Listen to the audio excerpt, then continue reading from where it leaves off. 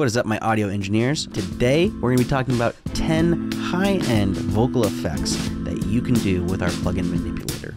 See if you can hear the difference.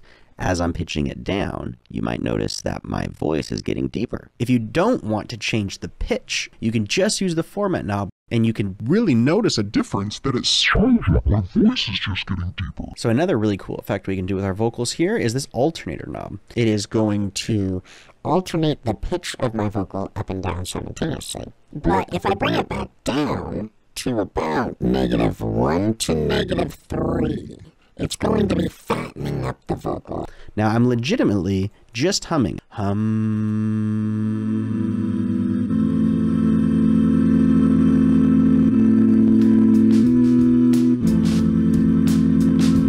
And you can manipulate that MIDI signal as you please. Visit us at polyversemusic.com